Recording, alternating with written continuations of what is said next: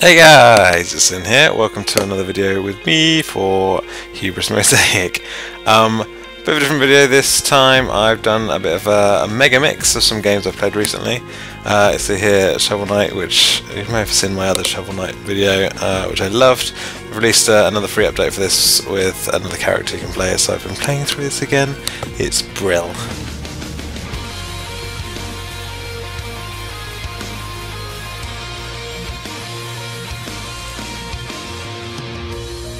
Okay, so kicking us off with this video, here is uh, A King's Tale. So this is sort of a, a weird prequel brawler to Final Fantasy 15, um, where you play as Noctis, the lead character from Final Fantasy 15's father, and you run along and fight uh, Final Fantasy enemies. It's um, quite short, quite weird, but free, so I quite enjoyed it. Um, it was, it was amazing, but for free it's not bad. There's Gotta be some way we can grab it.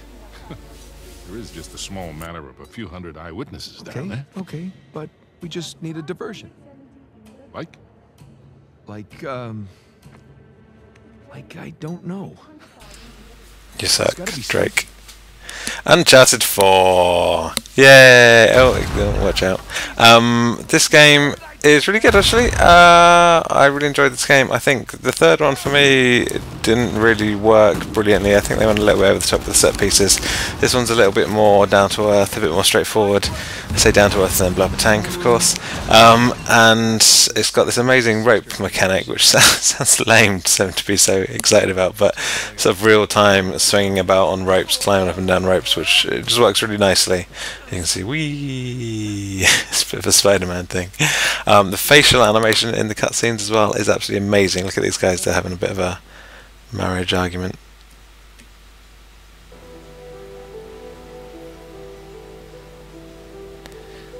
Yep, this is pretty much exactly what it's like when you have an argument with your wife.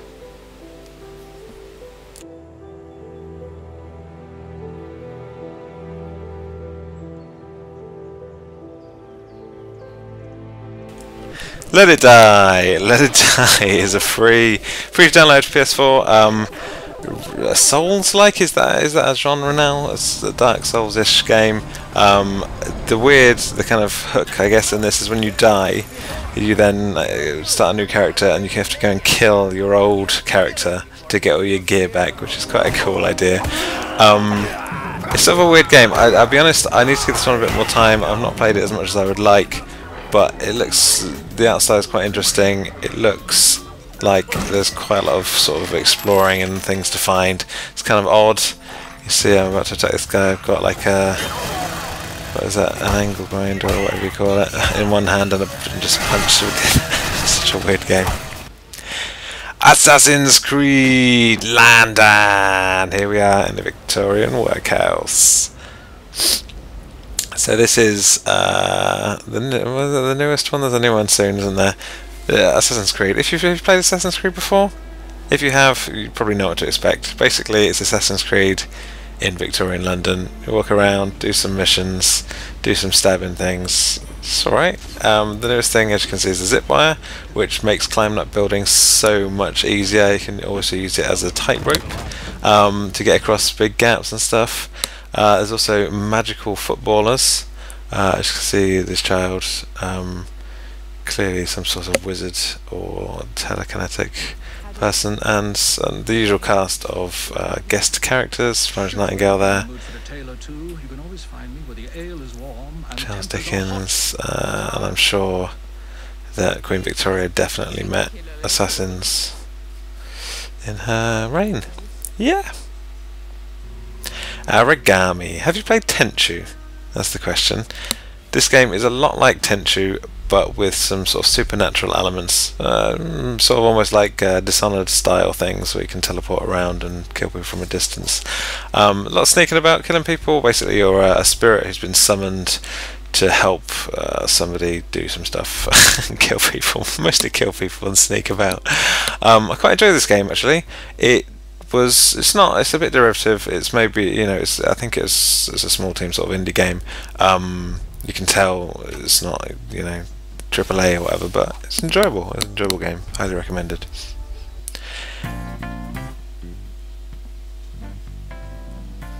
And Persona 5. So anyone who knows me knows that I have a bit of a love of weird Japanese games. Um, Persona 5 fits that bill very well. Unfortunately, I can't show you too much of Persona 5 because Atlus, in their great wisdom, the publishers decided that only the first sort of mission can be recorded by the PlayStation's internal recording features. Um, so here we are on the first sort of prequel, pre-story mission. There's a bit of a weird framing device on this game where you're telling a telling a detective about. Uh, uh, thievery that you took part in. But look at it, it's, it's stylish, it's crazy, it's I'm fighting a giant ball thing. Uh, look at this is look at the menu. The menu is all over the place. It, it's actually quite hard to follow the start because there's so much going on. Um, but I really enjoyed it. Um, if you like kind of sort of dungeon crawly stuff, uh, turn-based RPGs, and pretending to be a Japanese teenager, then there's definitely something for you in here. Thank you very much for watching. Uh, we've got a whole load more videos coming up uh, soon, so stay subscribed and we'll see you again soon.